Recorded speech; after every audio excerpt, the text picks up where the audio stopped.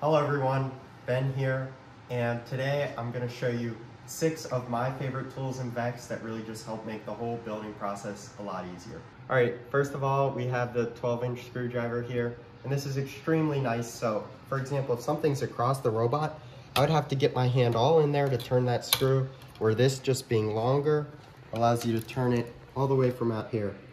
Another good example is in a tight spot. So see this screw? It would be so hard to get a screwdriver in there. But this 12 inch screwdriver, all the way from out here, you can just turn it with ease.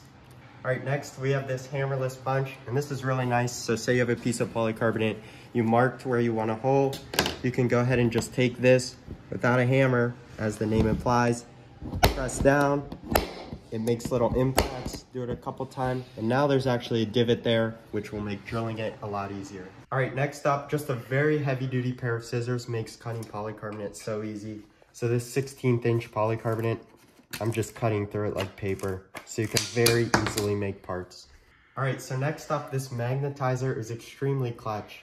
So say we have our screwdriver and our screw, right now it's not magnetic, so you can't do anything, but with this tool, slide your screwdriver through the magnetized section.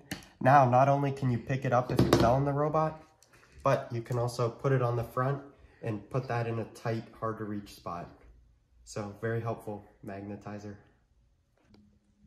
All right, so next up for bending polycarbonate, just having a propane torch is very nice. It's a lot better than a heat gun because not only is it hotter, but you also have a finer point so you can make sharper bends.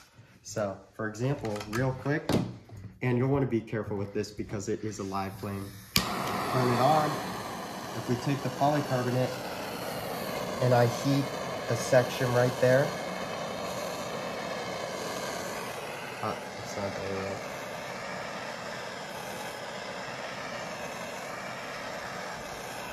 Now it bends and we have a sharp corner. So it's very quick, very nice for making custom parts. All right, finally, left-hand drill bits actually are super useful. So they're like normal drill bits, except the flutes are backwards and the little spirals. So what this actually allows you to do is if you use one, put your drill on like to loosen something, and say we have this strip screw.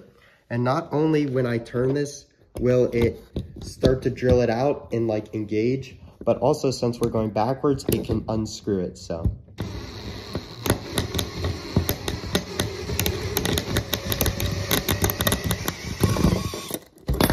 So now that screw we were just able to save that was totally stripped.